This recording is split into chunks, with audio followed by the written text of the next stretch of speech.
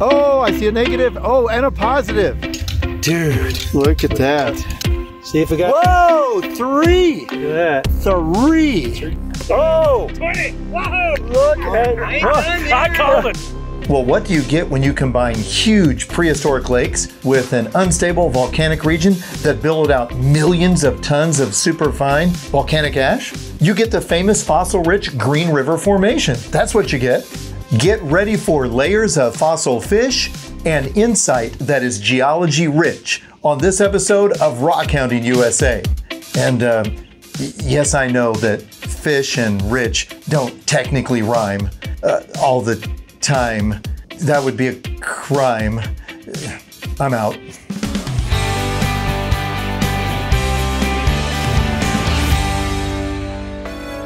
Every rockhound has seen, and probably owns, a fossil fish from the Green River Formation. Collectors and museums all over the globe display these exquisitely preserved samples of flora and fauna. I had dreamed of these fossil quarries just a few miles from Kemmerer, Wyoming since I was a child, and it only took me about half a century to finally visit for a little ancient fishing of my own. I teamed up with my older oh. brother Fred and we descended upon Fossil Safari, a fantastic fossil quarry operation owned and operated by Rick Hebdon. Upon arriving at Fossil Safari, Rick or his knowledgeable assistant George Putnam will supply you with the tools and the techniques to quickly locate and extract a trunkload of fossil treasures. I barely had time to put on my safety gear before my brother Fred immediately liberated several fish from the piles of shattered strata. Oh, I see a negative. Oh, and a positive. Look at that beautiful little guppy. I think we're still going to be hungry though. Oh, yeah, there's not much there to eat. After letting my brother get a little overconfident, it was time for me to split my first chunk of the Green River Formation. and it was worth the wait. My first rock, and I bet he's still good on this side. So move, move in close. Yep. So look at there.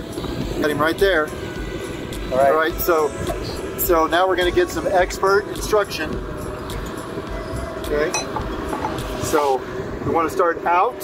We want to start out and then let it find its spot, right? Yep.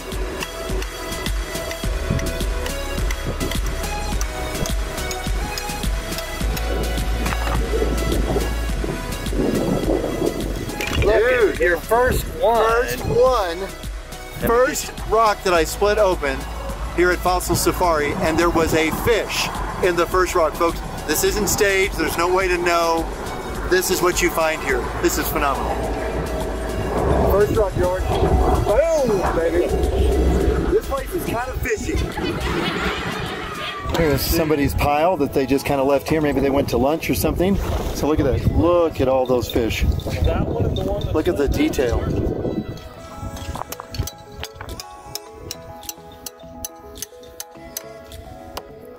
All right, time for the reveal.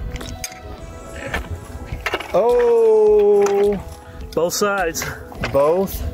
Positive, negative. Look at that. Look at that. There's another one up there. Kind of broke him. Oh yeah. It's like like a draw. Break a few eggs to, to get a you know, Yep. bake a cake. yeah. Whatever. Now that's you know nothing to keep. All right. Whittling it away, a page at a time. There it There. is. There it went. Okay. Here we go, Randall. Heart. See There's a tail. tail. Oh, look at that. Tail's right up there. Look at that. Oh, it's all right. Uh, yeah, there. And another one. Even. See that? Wow. So, Careful, careful. Careful. Up here. Yeah. Okay, so we remember the one we split split right on it. So now you look here, here's the vertebrae, the one that's covered up. Right next to it. And he's actually see that? Starts uncovering.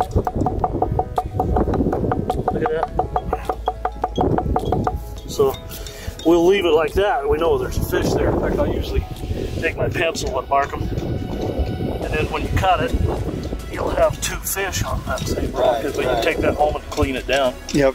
and two, and that's Reveal that's like a perfect fish because it's all there. Right. Where this one split apart, you see the that's negative where the vertebrae are. The positive. Still, it's still cool though. oh yeah, it's There's awesome. Cool.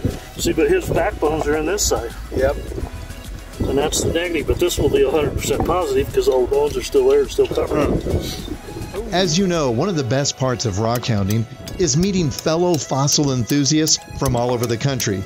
And you know me, I'm not shy. And we caught up with Nick from New Orleans, and boy, he's been all over the upper Midwest.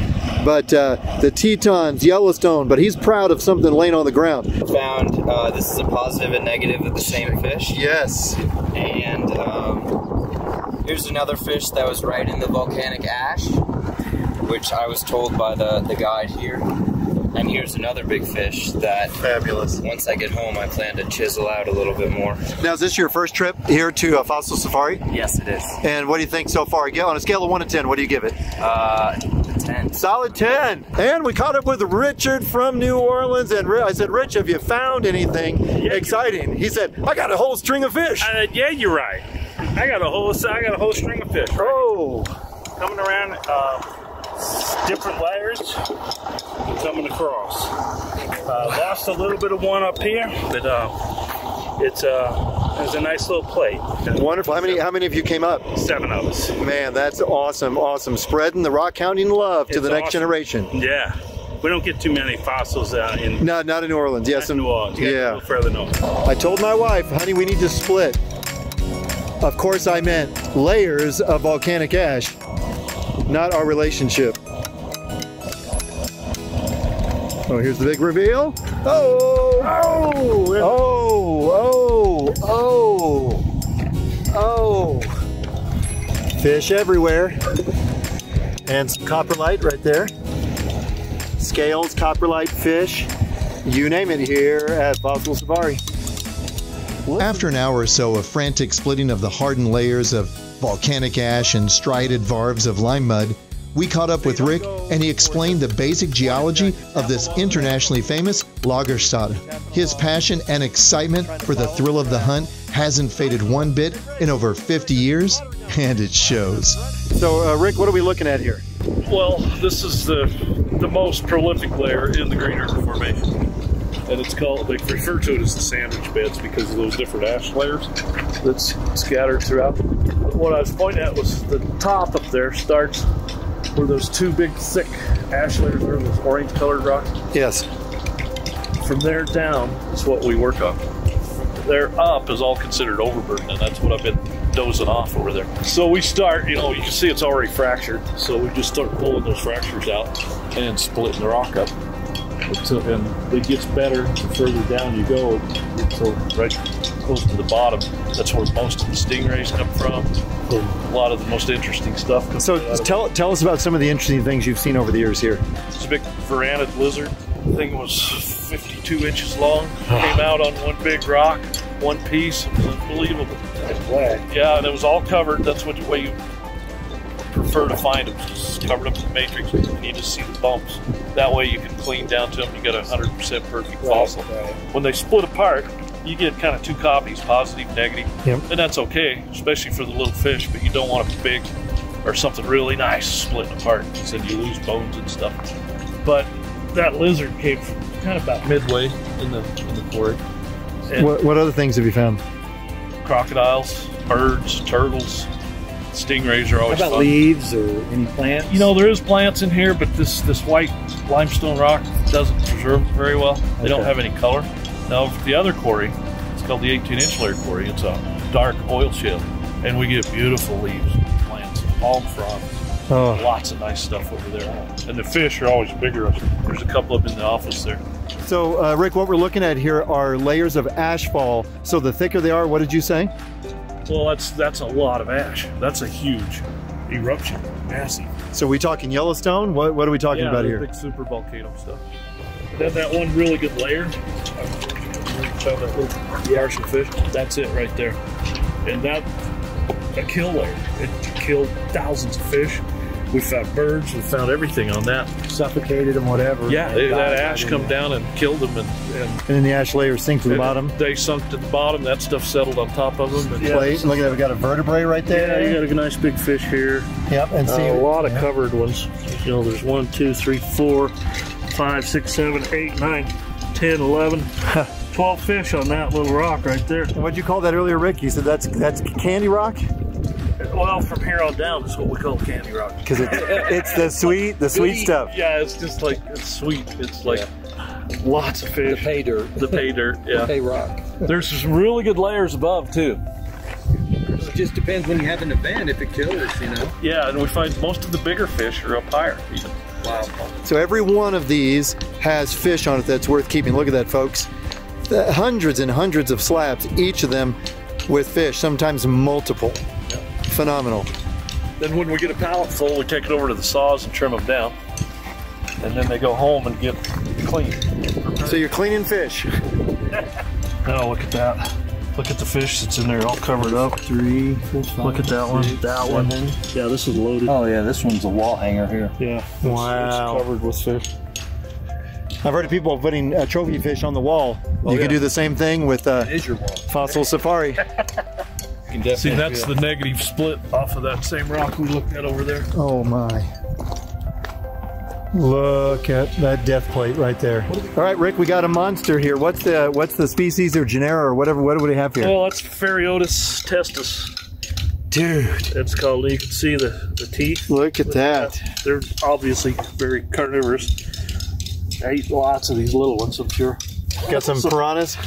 Yeah, they're kind of like the piranha of the fossil lake. Phenomenal. It tastes like chicken. All right, so what are we doing here, George? Okay, we're gonna come in here. We're gonna come into it. Coming off here. Just peeling apart like.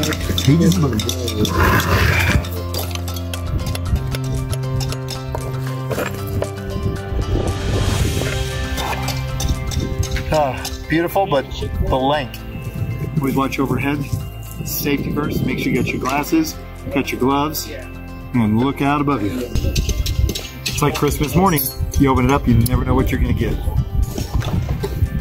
After finding our fair share of beautifully preserved fossil fish, we were treated to one final slab that Rick predicted would hold at least 20 critters on just one layer. Let's see if he was right. All right, so Rick and George navigated us to this incredible slab. We've been working there so far. Eight fish have been exposed. Reveal Fred, time. Here we go. See if we got. Whoa, three! Look at that. Three! Three good ones. Look at Eating good that. tonight. You've heard of three blind mice? How about three dead fish? Look at that. Oh, yeah. All right. So we're up to about 11 fish. On And this- you're, you're on putting your hand on the three I found. Thank you very little. Yeah. All right. Oh, got a pop. Okay, so it looks like maybe this entire. We're hoping for several dead families here. And I know this sounds very morbid.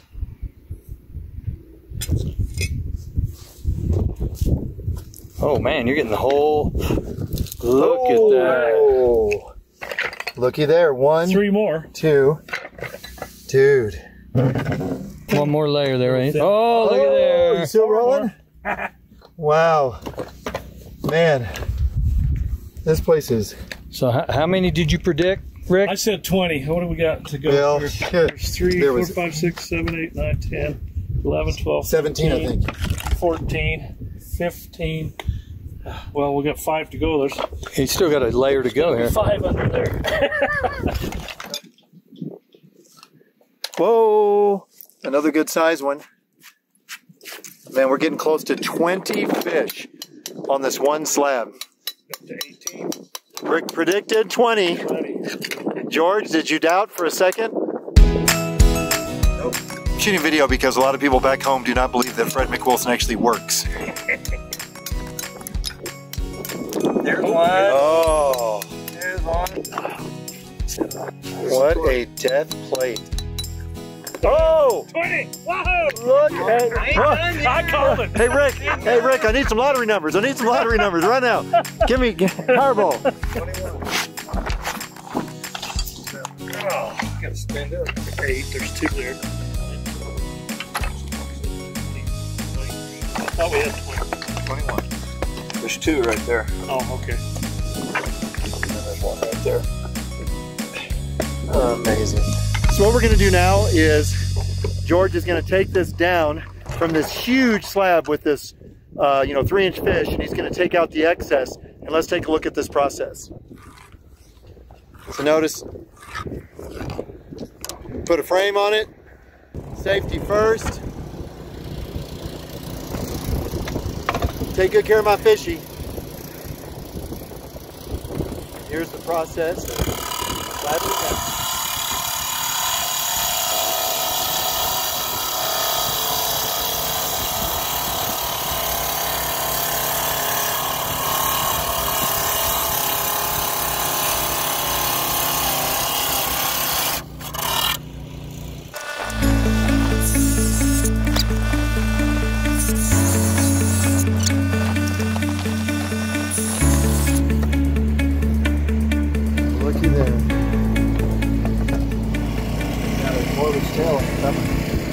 All right, so what George has just said is that there's more fish that needs to be liberated from the rock, and they recommend using like dental picks, very small tools, and kind of tap away to remove that thin layer of overburden to reveal your prize.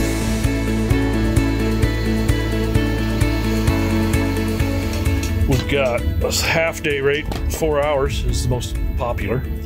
Some people are in a hurry. They just found it at Fossil Butte. They found out they could dig, but they're on a mission. They're going somewhere. So they come in, they pay 30 bucks an hour. They find a few fish, throw them in the car, they're on their way. What are some other groups that you have come out here regularly? Oh, a lot of school, college groups, uh, geology classes. Uh, okay, there's another group expected today. It's from the Field Museum in Chicago. They come out for two weeks every summer. I hear you also have had family reunions come out here too, Fossil Safari. Yeah, that's a popular. You know, people get their families together and and uh, they want to do something to kill the day. They come out here, have a picnic, and dig fossils, and everybody gets fun. The kids dig for a while, then most of them sit over there and throw rocks over the edge. have a great time. That's right. now, are there group rates for those kind of situations? Yeah, we got ten people or more. We give them a little discount. And Kirk try and encourage groups, you know. Excellent. Yeah. Oh, I see a negative. Oh, Very few things in life seem to live up to the hype, that. but this unique collecting locale clearly does. Rugged high desert scenery, unlimited fossils, and friendly experts who will guide you every step of the way. This place has it all. Here's a cool little fact about Kemmerer, Wyoming. Believe it or not, the very first J.C. Penney store was. Oh, there goes that blooper reel. That's good blooper reel. The very first J.C. Penney store.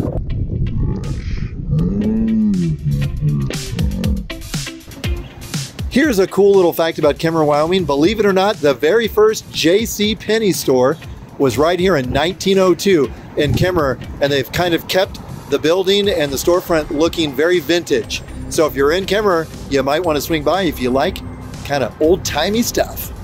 I tell you what, I cannot wait to head back west to visit Fossil Safari for a second time, and a third time, and, and a fourth time. And when people ask me, What did you do on vacation? I'll just smile and say, I did a whole lot of fishing.